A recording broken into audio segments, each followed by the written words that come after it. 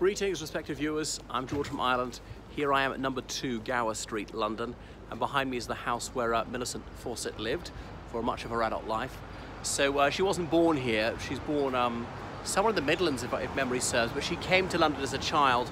She went to a school on Blackheath, which is um, just just south of, of the city centre. Back then, it would have been considered really outside London.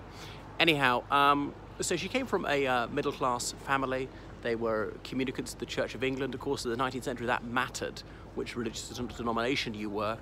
And uh, she was born at a time when uh, even most men didn't have the right uh, to vote, though that was changing. The United Kingdom was gradually democratizing, and by the 1880s, even the Conservative Party said that it agreed with democracy. The Liberals had said that a little bit earlier. Um, so she had several siblings, and um, her elder, elder sister, eldest sister, Elizabeth was the first woman to qualify as a medical doctor in the United Kingdom and very few countries in the world. I think maybe the United States had allowed some women to qualify as doctors prior to that. They're often called doctresses um, to begin with. Um, so uh, her elder sister Elizabeth was a, was a stellar intellectual, had to be largely self-taught in sciences. Bedford College for Women on Bedford Square, which is very close, that uh, had opened not long beforehand. Um, and it was the first uh, third level uh, place of education for women in the United Kingdom. The United States had a few colleges for women since the since the um, uh, 1830s. So the UK is the second country in the world to allow that, um, and uh, it was very close to Bedford Square, where um, where it was. It's there, um, not exactly there, but that's the square. I'm not showing you the exact location, the original college for women. Anyway, so um, her sister Elizabeth had a boyfriend uh, who was a Mr. Fawcett, who was a, a liberal, aspiring politician. And then, um, you know, a woman couldn't possibly have a professional career and be married. And even um, a woman who was a teacher, if she got married, she's often expected to resign because she had to look after her husband and children. Of course, having several children those days. Moreover, there were no labor-saving devices. You know, remember this before the refrigerator, the freezer, the microwave, the, um, uh, the, the, gas oven, I can't think what else, the washing machine, the dishwasher, the vacuum cleaner. So um, uh, housework was far more labor intensive and time consuming. And because you know you couldn't freeze food, you had to go to the go to the shop and buy fresh food every day for many um, comestibles because it wouldn't keep. And even an upper class one with servants was supposed to be supervising them. Um, anyway, so working class women, even though married had children, usually had to work because their income was just so low even if that meant that housework and even childcare was relatively neglected, and that was that was the majority of people. But uh, anyway, so uh, as Elizabeth went went off to pursue her medical studies here, faced all sorts of obstacles, and the the male medical students voting that she shouldn't be allowed in, um, and uh, then the medical authorities here realizing there was no rule specifically disbarring a female from uh, studying medicine, so she was allowed in. And then Elizabeth, no, no hospital in the United Kingdom would allow her to be a junior or house officer, as in that's the first stage in your career. But she did find a hospital in Paris would allow her to do that. So she moved to France and did that, and later came back and that was that. And then after this, the rules were tightened, whereas the British Medical Association specifically forbade women from qualifying as doctors. That, that was eventually that was got rid of not too long afterwards. And indeed, there's, there's Elizabeth Garrett Anderson Hospital named after this woman's sister. But back to Millicent. So um, she married uh, the man who had been her elder sister's boyfriend. Might seem faintly wrong to people today, who was 14 years older than each other, but um, they're very much in sympathy and their, their views seem to chime on every conceivable issue. So he was a Liberal MP for Brighton, and so she was travelling down to Brighton and even did addressing political rallies with him, which was highly contentious behaviour at the time. Your woman should be seen and not heard. Ooh, and I just saw a young doctor I know cycling past. Hi, Benji. Um, but anyway, uh, because you know they, they look back to what the Bible said that um, the female voice is nakedness. I remember to the late 18th century, women weren't even allowed to perform in the theatre, or they weren't allowed to sing in the presence of men men could sing in the presence of women, or indeed the presence of men, the presence of mixed-sex audiences, but women could only perform to women because it was just simply unbecoming. It was not fitting for a lady to do this. A theatre had a whiff of the not quite respectable. It was, you know, a, a, an actress was seen as little better than a prostitute. So yes, they're very popular in the 19th century, but still there was a question mark over their morality. But speaking to a political rally was, was very unladylike. But she did it anyway, so she was a bit of a, mm, how would I put it, like a, a trendsetter, someone who pushed back the boundaries of acceptable behaviour. So she's quite daring. Um, and from uh, really her teenage years, she believed women ought to have the right to vote, and she was not original in this. Other people had, had believed that. She knew John Stuart Mill, the uh, um, philosopher, the Liberal MP, and he'd advocated for that. The second person ever in the House of Commons to call for uh, for women's suffrage, and and people thought the idea was was risible. They didn't even need to argue against it. To many people, it appeared to be self-evidently ridiculous. Um, no country in the world had ever allowed this. Well, that's actually not true, and even this country had allowed it. But that was the argument that advanced, and women are physically weak and they're overly emotional. And you know all government rests on, um, on, on physical force ultimately. And men are called to fight and women can't fight. We obviously now know that women can fight and on and on. And all these spurious uh, medical uh, arguments were advanced to say that um, women couldn't take it.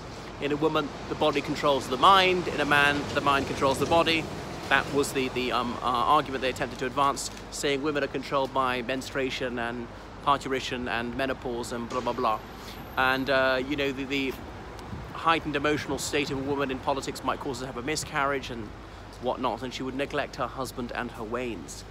Um, but anyway, she campaigned ceaselessly for um, her cause, disseminating these ideas, helping form the Kensington Society in 1865, a women's discussion group. And if you look back to the 18th century, uh, there was a craze for debating in this country. It became very fashionable, um, discussing all sort of controversial topics um, men as well as women, usually separately, sometimes all female debating societies, one of them called the Female Parliament um, here.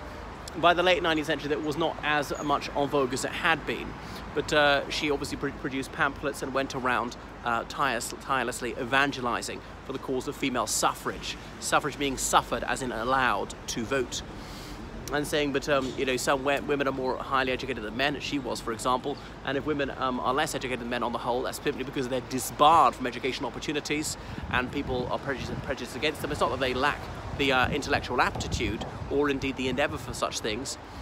Citing what uh, Mary Wollstonecraft had, had published in um, the 1790s, in, in, a vindication of the right of woman, that um, uh, women are simply denied education opportunities and they're conditioned, they're led to believe that they're less clever, so that makes them spend less effort on it and they're told, don't be too bookish because boys won't like you. Nobody want to marry you if you're a blue stocking. And really was a blue stocking society for intellectual women. Um, but uh, by the 1890s, this was, was, gaining a bit of traction. She has, so she had been a liberal like her husband, and over the Irish Home Rule uh, issue, she split, became a liberal unionist, liking Joseph Chamberlain, um, and that was that. But uh, she helped found the National Union of Women's Suffrage Societies, which is really a society of societies. There are many groups for it, as in some of them were Labour women, Liberal women, Conservative women, women of various religious denominations and so forth. Um, so it had many subsections within it. So she wanted the broadest possible church. The rival organisation was the Women's Social and Political Union, which is led by the Pankhurst family. So Millicent Fawcett, she found um, Emmeline Pankhurst, the matriarch of the Pankhursts, rather hard work and felt this woman was a bit of a termagant, just kind of what her, her, her um, enemies, the anti-suffragists, accused her of being, and rather dictatorial. So Millicent Fawcett saying, you know, we mustn't um, swap the rule of, of, of woman by man for the rule of woman by woman. Is ruled by four people, Emmeline Pankhurst and three of her daughters, and eventually just by one, Emmeline Pankhurst, who even banished one of her daughters to Australia. Mon Dieu, a fate's worse than death. Um, anyway, so in the run up to the First World War, this was an issue that simply wouldn't go away. It's part of the part of the um, uh, Edwardian crisis, as they call it. Um, and so the Labour Party broadly agreed, and the Liberal Party found it more problematic, and the Conservative Party broadly agreed. But on which precise model? Should it be women only of a certain age, a higher property age qualification, or what? Should women be permitted to vote but not to become MPs? Uh, they, they weren't quite clear. Absolute equality didn't appear to be realistic at the time. Not many people were willing to concede that, but votes for some women. Remember, from the 1880s, women had the right to vote in local elections, as in for their county council, their city council, but not for national elections, not elect people to Westminster. And it had been proved that, that female suffrage could work. You look at several, several states of the United States, several Scandinavian countries, and New Zealand.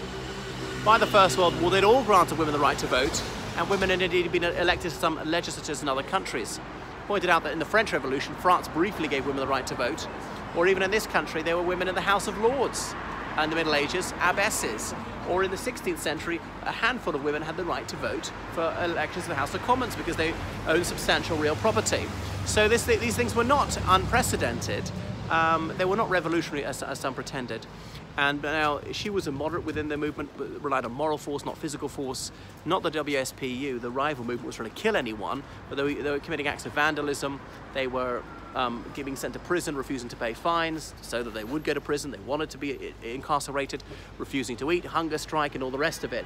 And did this help? Did it, did it set them back? It's, it's, it's questionable saying, oh, look at these Haredans, they're deranged, it's a sort of psychiatric disorder, wanting women to have the right to vote. And the worst sort of termagant would want this, so we shouldn't be giving in to these, um, well, what would I say, these viragos.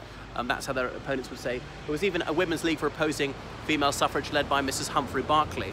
Why Mrs. Humphrey? Isn't that a boy's name? But a married woman in those days, if her husband was still alive, was supposed to be known by her husband's Christian name. Uh, if her husband died, she'd be known by her own Christian name. Say, what? You don't even have your own personal name? I say Christian name, that's first name if you're American.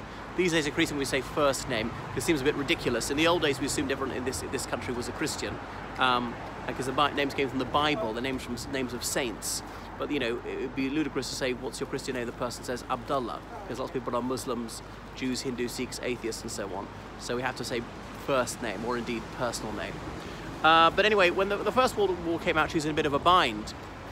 Um, she wasn't a pacifist. She had her doubts about this war. She'd been sent to South Africa during the, the Second South African War, 1899 to 1902, to, to um, examine the conditions of the Afrikaner civilians. That's the people of white Dutch descent when they were in, interned in, in various concentration camps. Nothing like the concentration camps of, of, the, of the Third Reich. The reason the Third Reich used the word concentration camp is it's relatively innocuous. Not a single person was killed in these South African concentration camps. Some people died, but of illnesses. They weren't shot, they weren't gassed, they weren't forced to work, work or anything like that. But um, conditions were inadequate. Um, the supplies didn't always get through. I mean, not to the British Army, not to the people in the concentration camps, because trains were being blown up all the time. It was a war that was on, and they were living in tents. But sometimes they weren't even supplied with soap. Also, a very diffuse population suddenly brought together. They've been in remote farming communities, and suddenly you're at a camp with tens of thousands of people. So you don't have much of an immune system, and people um, were susceptible to various illnesses, particularly in their debilitated state since they were undernourished. So um, tens of thousands of these internees died. Some of them were, were black people who had been working as servants for the, the Boer families. Anyway, so Millicent Fawcett had reported on this, um, and so she was not keen on war. She didn't actually oppose it. Was the WSPU threw itself wholeheartedly into the war effort, um, donating all its funds to the war effort, and renaming its its its, its um, uh, magazine uh, the Women's Dreadnought, um, or having another magazine called Britannia, and being ferociously Germanophobic. Uh, well, she wasn't quite like that. But one thing the WSPU is um, it made some people reconsider saying, well, they are responsible citizens, their patriotism should be rewarded the right to vote. That worked for the Pankhursts. Um, also, for people who'd opposed women's suffrage, they were starting to see that the writing was on the wall. It made it less humiliating, a come down to say, okay, I changed my mind. Say, well, it's because of their um, fervent pro-war advocacy that uh, I, I realise um, I was mistaken. But anyway, we all know that the Representation of the People Act was passed in April 1918, before the First World War was over, granting women the right to vote, but not on an equal footing, only the age of, of uh, 30, and only if either on the local government register or married to a man who was. The local government register was for those who were householders, as in you own the house or the flat, or did you pay the rent? So that was a local government register. And then that system in Britain, Great Britain prevailed till 1948. Only after that did it virtually all adults have the right to vote in local government, as indeed in national government. So that was her. She died in 1929, um, and uh, she was voted the greatest woman, I think, in, in, in, British history recently. There's a Fawcett Society, which is dedicated to the furtherance of uh, women's causes in politics and uh, supporting uh, females in politics and so forth. There's, a, there's even a Millicent Fawcett Hall in Westminster, but is used by Westminster School as a theatre these days. You can see the statue of her on, on Parliament Square that was unveiled by Prime Minister Theresa May only last year. Uh, with bear it with it, which she's holding the statue figurine is holding a um, piece of paper with it with a legend "Courage calls to courage everywhere," which is um, um, a dictum of hers that she, she uttered in 1920 at a memorial service for Emily Wilding Davis. You might know Emily Wilding Davis as the woman who was killed by the King's Horse at the Epsom Derby in about 1912. Uh, Emily Wilding Davis, was she trying to commit suicide or was she trying to simply stop the horse as part of a protest? Carrying her banner, shouting votes for women is questionable.